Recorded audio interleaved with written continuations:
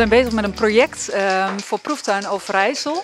Uh, een project wat we kunnen doen vanuit het uh, Fonds Cultuurparticipatie. Um, en wat we uh, aan het doen zijn is een graffiti maken op een wand.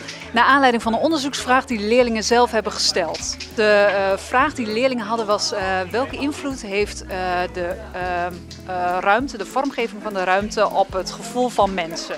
Dus wanneer word je ergens blij van, gelukkig van.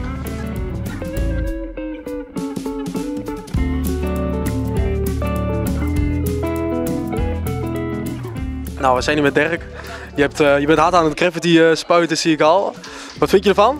Ja, het is uh, leuk om te doen uh, nu. Ja. Vorige week zijn we naar Amsterdam geweest, hebben we daar uh, een workshop gehad, zeg maar. En ja. En museums bezocht hoorde ik.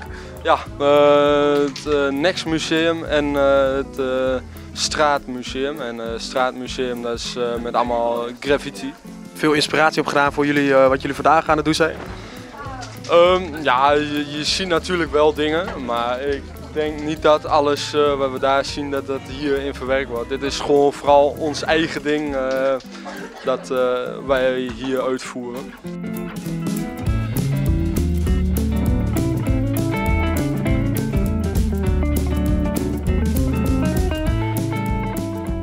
Wat voor indruk kregen u wat de kinderen ervan vonden?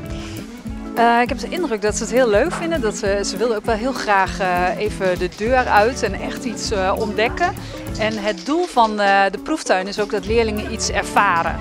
Um, in plaats van dat je normaal gesproken bij een onderzoeksvraag op school een heel um, papierwerk moet vastleggen en dat je er uiteindelijk een cijfer voor krijgt. En dat dat je manier is van iets afsluiten, zijn ze nu echt alleen maar zelf aan het kijken, aan het ervaren, aan het doen. En ehm, is dat het eindresultaat.